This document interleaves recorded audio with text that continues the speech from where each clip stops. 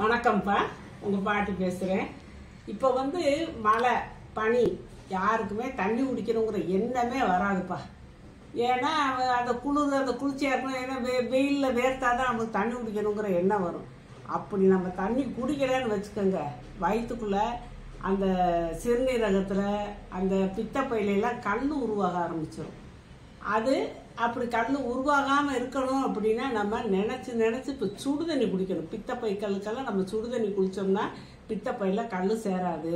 இந்த குளிர் காலத்துக்கு சுடுதண்ணி குடிக்கும்போது பல விதத்தில் நன்மை இருக்குது நம்மளுக்கு சுடுதண்ணி குடிக்கும்போது நம்மளுக்கு அது எதமாகவும் இருக்கும். இப்போ ஆஃபீஸுக்கு போகிறவங்க கூட ஒரு பிளாஸ்கில் தண்ணி வச்சுக்கிட்டு சுடு தண்ணி வச்சுக்கிட்டு அப்பப்போ அப்பப்போ நீங்கள் நினச்சி நினச்சி தான் குடிக்கணும். நினச்சி பார்த்து தான் நீங்கள் தண்ணி குடிக்கணும்.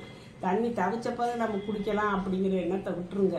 நான் நிறையா பேர்த்த பார்த்துருக்கேப்பா இந்த பனி காலத்தில் தண்ணி குளிர் காலத்தில் தண்ணி குடிக்காமல் இருந்துருவாங்க.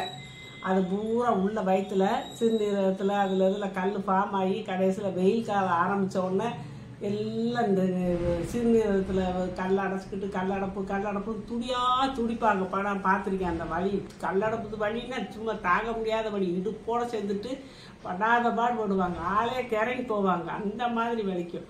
வலிச்சு அப்புறம் அதுக்கு வைத்தியம் பார்ப்பாங்க. இது தேவையா? அதனால தான் சொல்கிறேன் தண்ணியை நீங்கள் நினச்சி நினச்சி நினச்சி இந்த குளிர் காலத்தில் பனி காலத்தில் நீங்கள் தான் நினச்சி குடிக்கணும். குடிக்கணும்னு தோணவே தோணாது. அதனால் சுடு தண்ணியை வீட்டில் வச்சு குடிங்க. வீட்டிலனா நம்ம இப்போதான் கெட்டில் அதெல்லாம் வைக்கிறேன் அதில் வச்சு கூட நீங்கள் குடிங்க. ஆஃபீஸுக்கு போகிறவங்களா பிளாஸ்டிக்கில் எடுத்துகிட்டு போங்க. அப்பப்போ நினச்சி பார்த்து நீங்கள் ஒரு நாளைக்கு ஒரு ரெண்டரை லிட்டர் தண்ணியாவது நீங்கள் குடிச்சே ஆகணும்ப்பா. குடிச்சாதான் உங்களுக்கு நல்லது. வாழ்க வளமுடன்.